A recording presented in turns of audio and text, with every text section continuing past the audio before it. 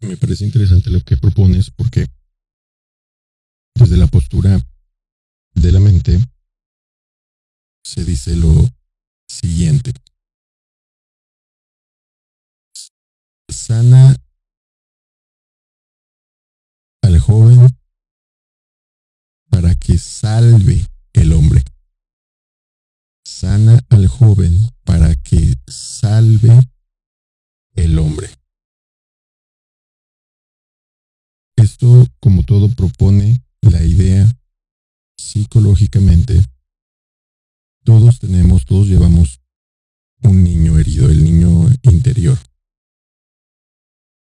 Hasta la fecha, el día de hoy, esa herida en algunos todavía permanece fresca. Ha sido la evitación, la evitación de comprometerse con la herida, la cual irónicamente ha dejado abierta la herida. Y es que si nos podemos analizar,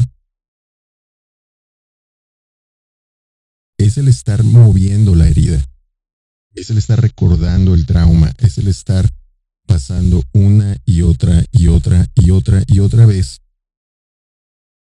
sobre el pensamiento de la herida, lo cual ha permanecido en la herida, porque ha dejado la herida fresca. Si nos hubiéramos enfrentado a, su debido tiempo a la herida, la herida hubiera sanado tuviéramos una cicatrización, un callo, una cicatriz. Eso es parte de nuestra negligencia y esta negligencia sucede de igual manera para que nos demos cuenta de la herida. Hay un orden perfecto de las cosas más allá de lo que podemos imaginar. Inclusive cada vez que lo analizamos, no puedes negar el orden de las cosas. Y no me pongo en una postura religiosa de golpes en el pecho y vamos a hacer una manda y por mi culpa. No, no, no. Me refiero que cada vez que analizamos esto, no hay manera de evitarlo, como la misma herida. Es una analogía perfecta. La herida puede ser tu trauma. La herida es tu frustración. La herida es tu falta de padre, tu falta de madre. La herida es ese matrimonio roto. Es esa idea taladrando tu cabeza, esa idea de incapacidad, esa idea que te atormenta, que tú aceptaste, tú interpretaste. Por eso es una herida emocional. Lo mejor de todo esto es que a través del mismo concepto en todas las culturas se ha aplicado este, este principio psicológico. Sana al joven para que salve el adulto. E, es la, el cambio de paradigma, es el cambio de paradigma de la nueva programación alguien te dijo a ti que tenías que hacer esto y creaste una expectativa. Por amor, por apego, eso no, bueno, sí importa, en realidad tiene mucho que ver, pero en estos momentos ya es innecesario deslindar responsabilidades, es más acerca de hacer frente, de tomarlas. Porque al final de cuentas tú eres el responsable de toda tu vida nada te va a servir el que estés condenando a un individuo que muchas veces, en el 99% de las veces, no van a responder, no quieren responderte, o son tan ignorantes que ni lo perciben.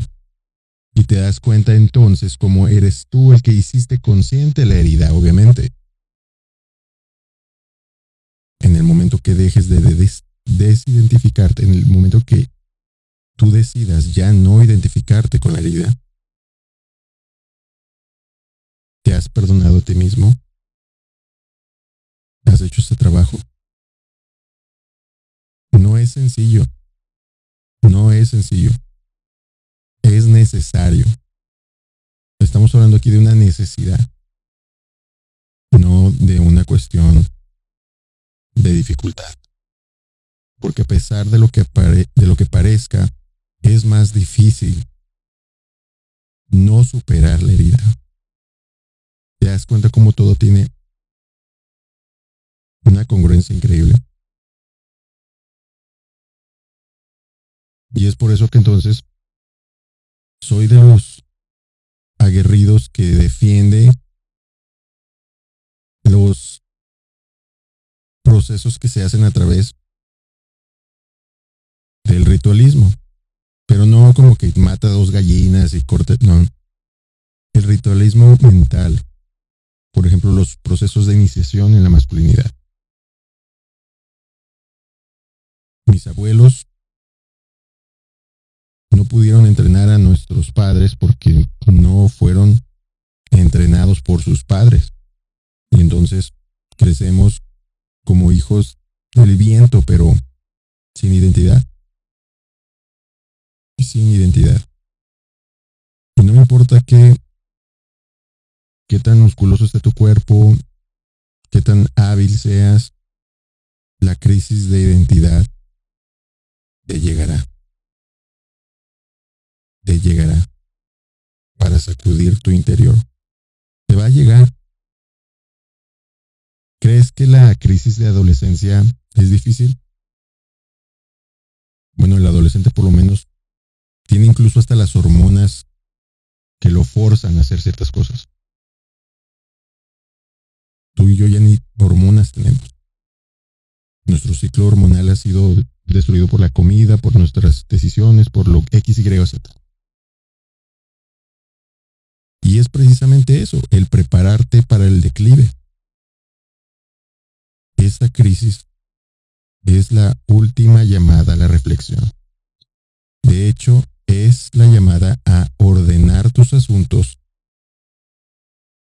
y te puedas marchar en paz. Es eso lo que es. Si no lo sabías,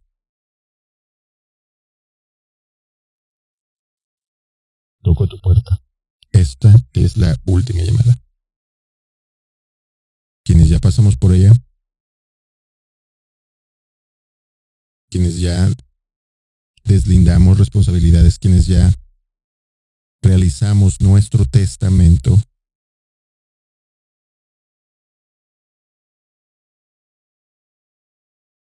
no tenemos inconveniente. Por eso nos ves haciendo lo que hacemos, enfrentarnos a lo que nos enfrentamos.